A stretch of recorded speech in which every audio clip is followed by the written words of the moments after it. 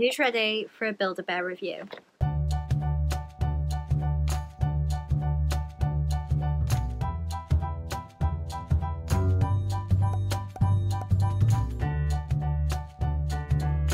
Hi friends, welcome back to my channel.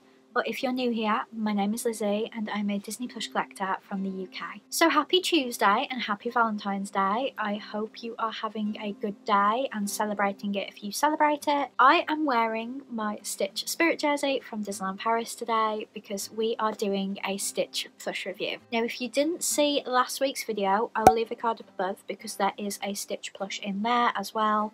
I reviewed all of the Shop Disney UK Valentine's Day plush offerings for this year, but I've actually had this one since just after I got back from Disneyland Paris. So I got an email on Saturday the 7th of January from Build-A-Bear saying that there was a new Stitch plush available I obviously posted on my Instagram stories, if you don't follow me over there, I'm also Lizzie and Disney, and asked whether I should get it. Knowing full well I would anyway, I wasn't just buying it on account of everybody else, I just thought it was a fun little interaction piece to do. So 71% said yes, I should get him. So I went to my local store and unfortunately it wasn't in stock yet, it was only online. And because I love making these videos for you where I make my own, I didn't want to get it online. So I waited until I got back from Disneyland Paris and they had it in stock.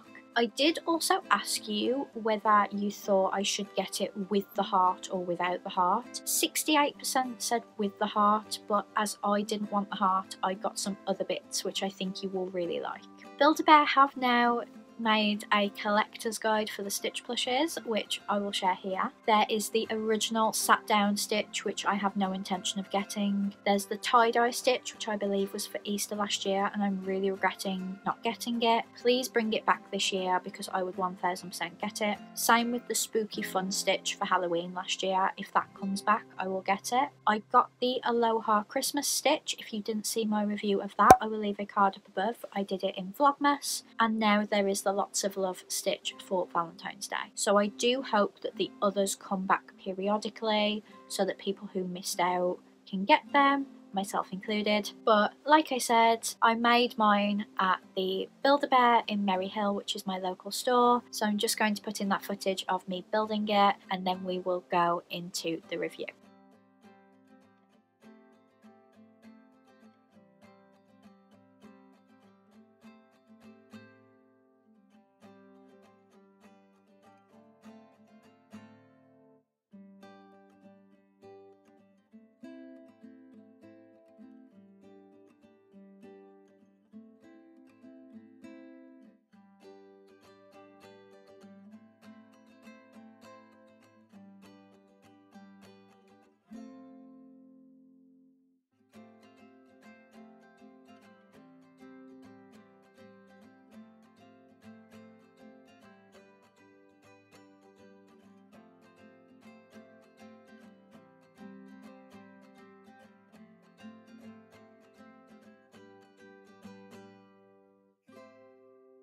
The reason I make it in store, which I've mentioned every single time I do a Build-A-Bear review, is that you can stuff it how you want it. So I've had mine really, really soft. My friend actually made this for me and I think he's really, really cute. I didn't have a scent in, I didn't have a sound, I didn't have a heartbeat. I just went with the standard £30 Stitch plush. I did pick my own from the little bin to make sure that I was happy with it, but honestly, it's the stuffing that really matters to me more so than how the ears are and things because I have my hacks for sorting out bent ears. So what is it? This is the Lots of Love Stitch which is the Valentine's Day incarnation of Stitch. He is from Build-A-Bear, you can buy him online, ready stuffed, or you can go and make him yourself in any Build-A-Bear store. I always go to Merry Hill because the Birmingham store is now a part of Selfridges and it just doesn't feel as special anymore. How much was it? It was £30 and it had some accessories that I bought separately that I would like to show you as well. So the reason I didn't get the heart is because it was red and Stitch is pink. Although I have bought this, though it might be for one of my Duffy and friends because I buy Build-A-Bear items for my Duffy and Friends as well. If you haven't seen my Duffy and Friends collection, I will leave a card above. But this was £3 and it's a pizza wristlet where the pepperoni are all heart-shaped and I just really love it. If I don't use it on Stitch, I will use it on something else because it just attaches to any hand on any plush. If they'd done a pink heart, I would have got a heart for Stitch. And then the other thing I got is another wristlet and it was just £4 and it's a little mini teddy bear. I thought that was really really cute and I just couldn't resist so I got that and they're both kind of Valentine's related but Stitch just on his own, no scents, no sounds, no heartbeat was £30.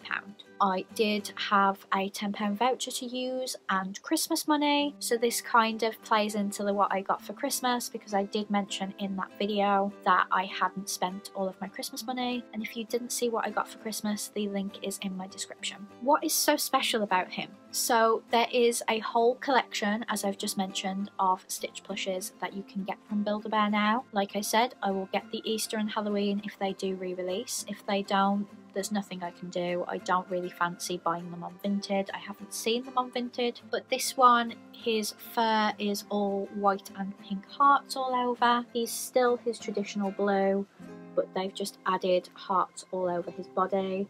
And then the inside of his ears are little pink hearts on a darker pink background and he just looks really cute. I think he would make a perfect Valentine's Day gift or birthday gift for any Stitch fan that you have in your life that you love. And like I said, if you go to the store, you can have it done however you want. I haven't had a plush done online in a very long time. I think it was a Snoopy for my mom but I don't think you're ever given the option whether you want it firm or soft or anything, so it's just best to go into store. They will let you have a feel of him. If you're unhappy, they will put more in or take out, and it's just a very personalised experience. I was always put off going in because I felt embarrassed, but honestly, the staff all know me, they know what I like. I'm actually friends with one of them on Facebook and we talk quite a bit, and it's just a really nice experience. He's also got a little stamp on his foot that has Stitch with a flower and it says Love Stitch and he's obviously got the Build-A-Bear logo on his paw and I just absolutely adore him. I highly recommend him. Is he worth the money? I would say £30 is quite a lot for a plush. As you know £30 is the price for the Cuddleez which is a much bigger plush but I think with Build-A-Bear you're kind of also paying for the work that goes into it because they're not ready made. With that being said, he technically cost me 20 because I had a £10 voucher.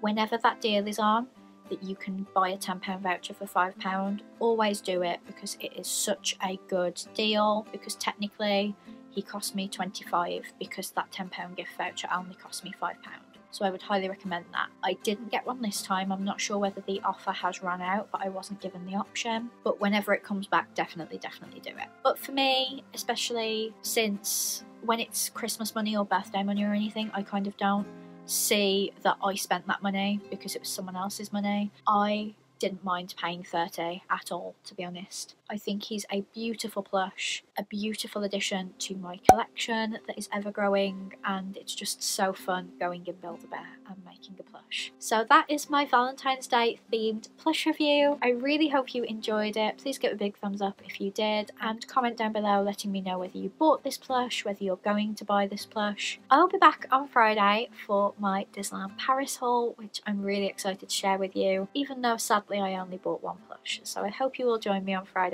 for that. Have a great week and I will see you then. Bye friends!